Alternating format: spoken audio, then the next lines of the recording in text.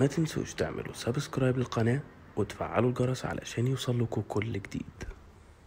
ما تنسوش تعملوا subscribe للقناة وتفعلوا الجرس علشان يوصلكوا كل جديد.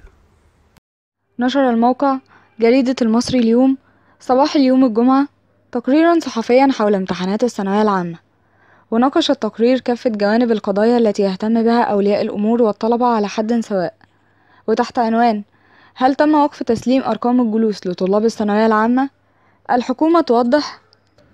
أوضح المركز الإعلامي لمجلس الوزراء حقيقة ما تردد من أنباء بشأن وقف تسليم أرقام الجلوس لطلاب الثانوية العامة لأجل غير مسمى. وأشار المركز الإعلامي في تقرير توضيح الحقائق الصادر اليوم الجمعة إلى أنه تواصل مع وزارة التربية والتعليم والتعليم الفني والتي نفت تلك الأنباء مؤكدة أنه لا صحة لوقف تسليم أرقام جلوس طلاب الثانوية العامة. موضحة أن أرقام الجلوس قد بدأ تسليمها بالفعل للطلاب في المدارس منذ يوم 12 مايو.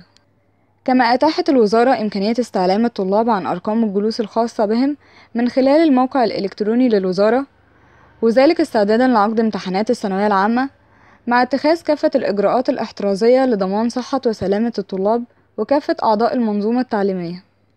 وتقوم الوزارة باتخاذ كافة الإجراءات الاحترازية للحفاظ على صحة وسلامة الطلاب أثناء فترة الامتحانات مع تطبيق أقصى درجات الوقاية الصحية لهم بالتنسيق مع وزارة الصحة.